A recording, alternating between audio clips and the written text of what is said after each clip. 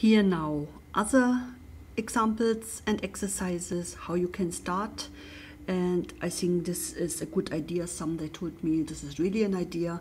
So start with a very simple form. You have subject verb time, like die Kinder lernen in der Schule.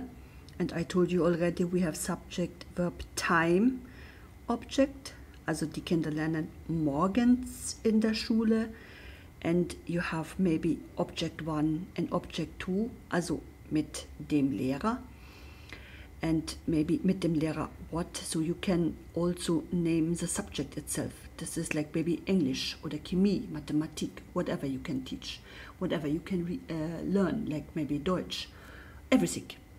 So you have here already the strategy form and from very small to more and more longer.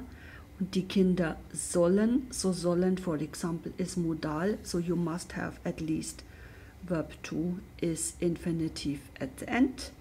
Sie sollen lernen, sie sollen morgens lernen, morgens mit dem Lehrer, what English, wo in der Schule lernen.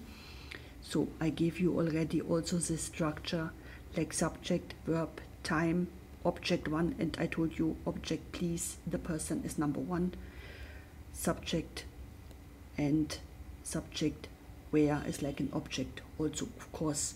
So you get here more and more ideas. You can go this way you can go this way. Create.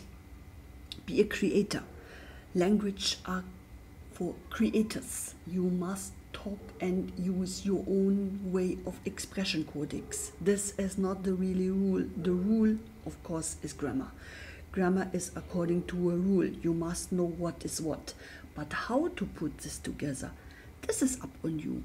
You are the creator of the sentence. Handle this. Use this.